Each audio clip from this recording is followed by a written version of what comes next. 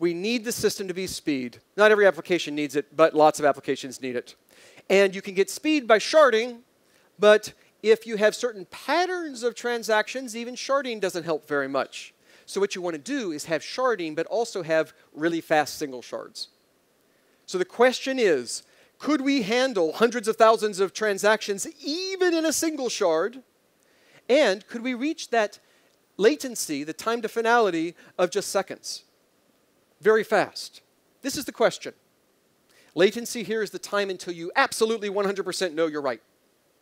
Okay, so let's talk then about the Hedera Hashgraph performance. We have been doing performance testing, and we've been doing performance testing on um, nodes on Amazon, AWS, spread around the world on five continents, and we've been doing it with the number of nodes equaling the number of governor, governing members that we are going to have, and we have done lots of different and different numbers of nodes as well. We've done lots of stuff. If you want to know all the details, look at our website and get the paper that describes it all.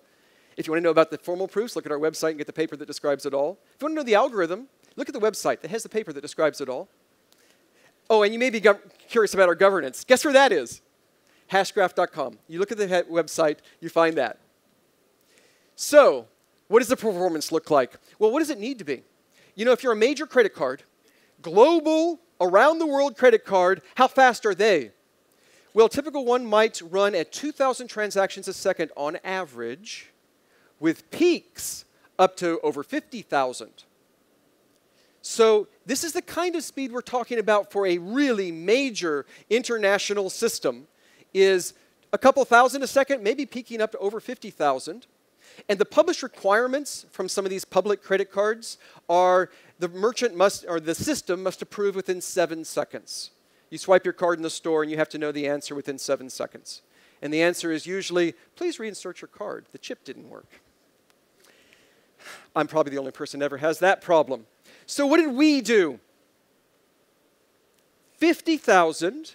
We asked it to do 50,000 on a network spread around the world, not 50,000 peak, but average, continually continually doing 50,000 transactions per second, spread around the world into five continents, in eight regions, from Tokyo to Canada, from Australia to Frankfurt, Germany, from Sao Paulo in South America, up to Seoul, South Korea, and both coasts of the United States, which might have been eight.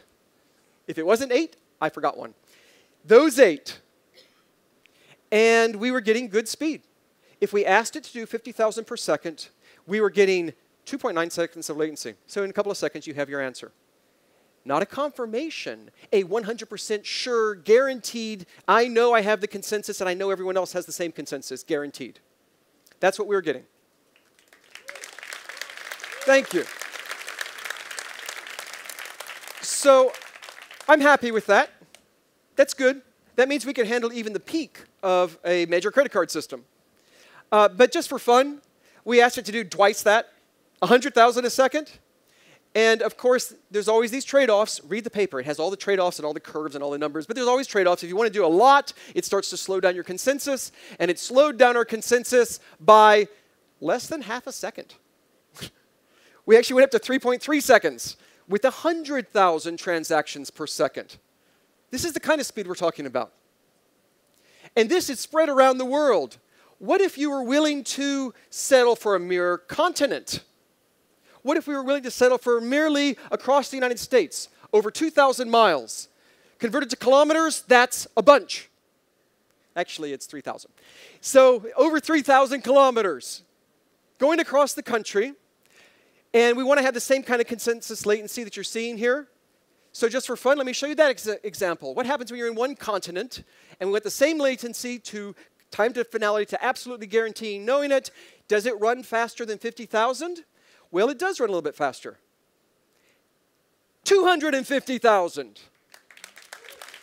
So this, thank you, this is running at a quarter million transactions per second. And look at that latency, it's still just three seconds. Now remember, we have all sorts of caveats. This is, um, anyway, read the paper for all the caveats. I'll, I'll say them all again at the end. But these are preliminary results. I think we can make it faster in some ways. In some cases, it'll be slower. And in some other cases, it'll be faster. And in some other cases, it'll be slower. But these are the numbers we're getting. but you know, you just have to try it. That's what a continent looks like. What does one region look like? Like the East Coast of the United States? You just got to try it and see what it says. And what it says, in that case, is 500,000. And it's three and a half seconds latency. That's kind of cool. So that's just one region, though. Uh, we're not going to run a shard in one region because I don't trust it. It's all about trust. But here's the bottom line. It is not that these numbers mean anything.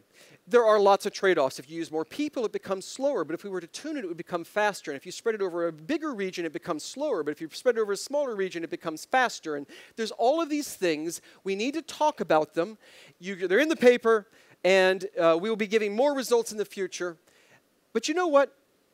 If you were just to look at the math, you would think this is an algorithm that really ought to run at about the limits of what the laws of mathematics allow and what the internet allows for an ABFT system.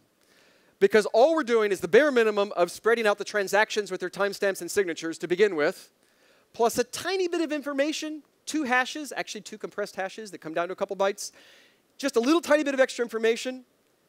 That's the only bandwidth we use. And then the consensus part of it you get for free. That's the, how the hash graph works.